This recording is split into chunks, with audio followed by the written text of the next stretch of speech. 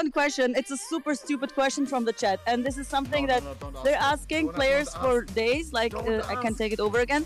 Um, like they're asking every player this, and I keep ignoring that. But I think I cannot uh, keep ignoring that anymore, and I have to ask this. So sorry already now for this unprofessional question. Um, boobs or I'm ass? not a virgin. oh, okay. Um, I am a. I mean, it depends on what month we're talking. Like in the winter, the boobs are nice. You like lay close, they warm you. In the summer, when the girls I'm are not- wearing not so much clothes. Uh, why? Why do I have to? What, what's yours? What's your pick? I don't know. I don't care.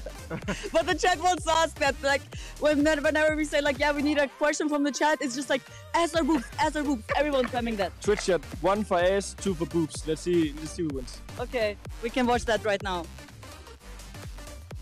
So chat, we're actually watching you now. So just spam. It's all ones. Go. It's all ones. What was one? S? What was one? I think S. I don't even know. I, I, It's Ka- okay, right? CadiaN, I, it, it wasn't my question. My questions are all professional. I'm so sorry. I'm so sorry for this. I know. I know. I would also be in shock. I'm in. Yeah, this Okay. was all the chat. Three, Ah. if you want to see honest boobs. Uh, You, uh, you can't be serious. Okay, one is Four, if you want so to see majority uh, uh, for uh. CadiaN's, I don't, I don't even know. Give- give him the one week ban, guys. Give him the one week ban.